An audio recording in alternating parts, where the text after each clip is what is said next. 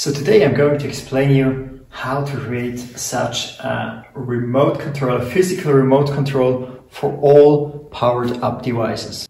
As the, the hub, the Technic hub has some gyro sensors in it, we need to create a mechanics which allows to move the hub in X direction and in Y direction. And of course, both can be combined. The easier thing is just to have like a moving lift arm with a turning point on the two directions independent of each other. So in order to illustrate a little bit better, I have created this little mock-up here. So it's one hub, uh, one motor which simulates the driving and then one motor which simulates the steering with an end stop on one side and an end stop on the other side.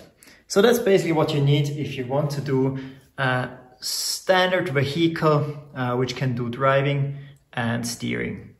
And so we're going to see how this can be controlled with a joystick, with a physical remote control joystick.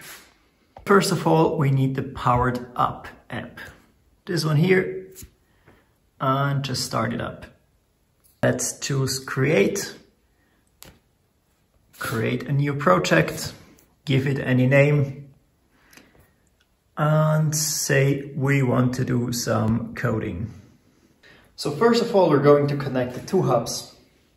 For that reason, the app is in connecting mode. We just press the button on the first hub. We see that it's going to connect.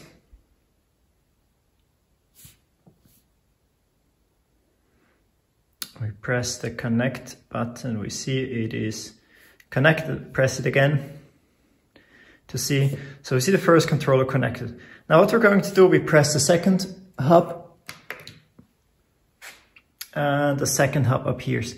And now it's very important to keep the numbers or the order of the hubs in line.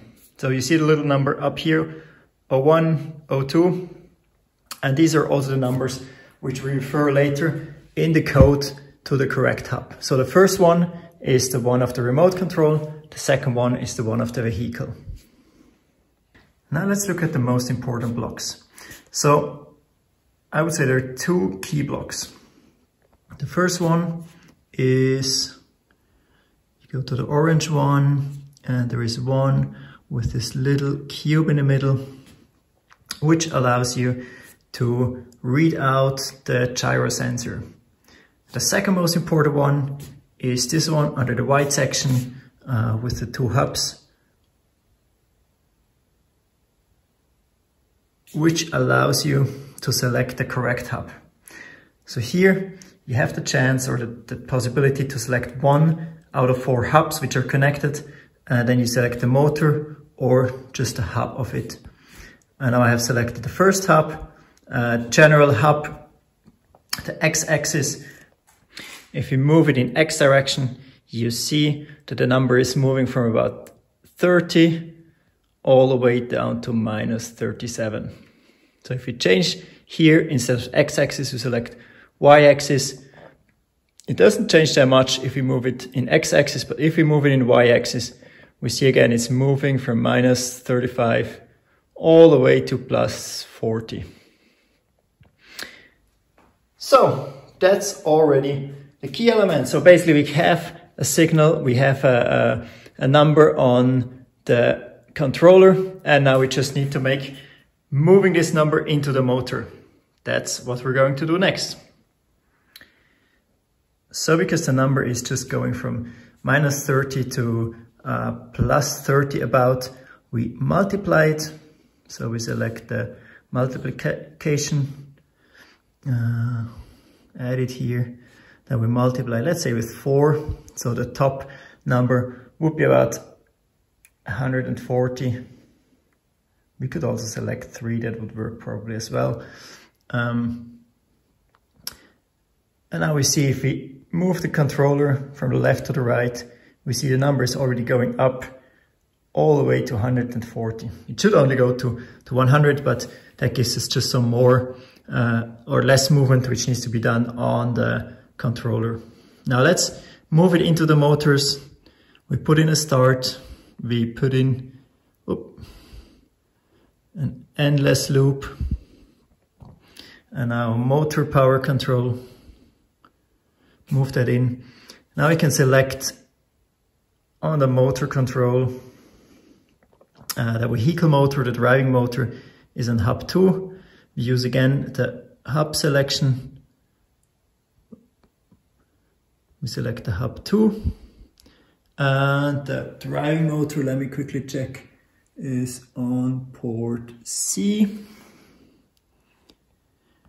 And now instead of just giving 50 as a motor power, we now move what we did before into that as um, parameter. So if we start our program, you see that if we move the joystick, the wheel starts turning. And if we move it to the other direction, it moves to the other direction. You also see if you move just a little bit, it moves slow. If we tilt the joystick more, we see that the wheel is turning with higher speed. So it's not just on and off, but it's really a proportional control.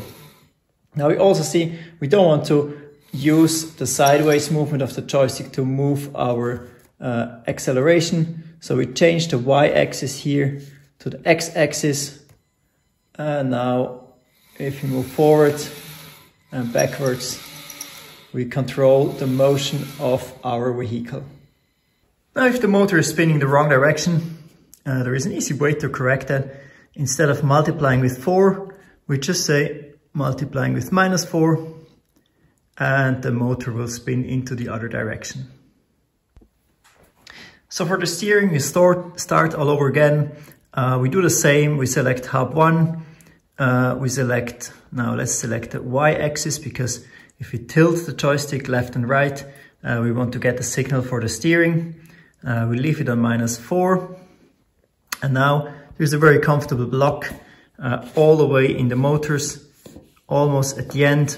So this one here, um, that is for steering. Again, we select that we want to have it on hub 2, so the hub of the vehicle. And that steering motor is connected on port A, that is already correct. Now we just connect this number to the steering and off we go. We can start our program. First, you see the steering mechanism is centering to both sides.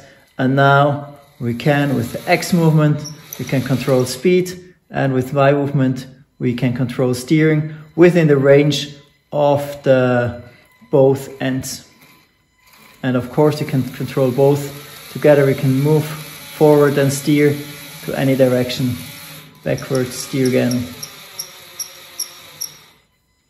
And again, if steering is going into the wrong direction, you mark this minus 4, you change it to plus 4, then it's moving into the other direction. This was a very quick introduction into how to build physical remote controls. Now, you can take this information, go further, create new kind of remote controls, maybe even steering wheels, foot pedals, or whatever you come up. And feel free to post your ideas into the comment section.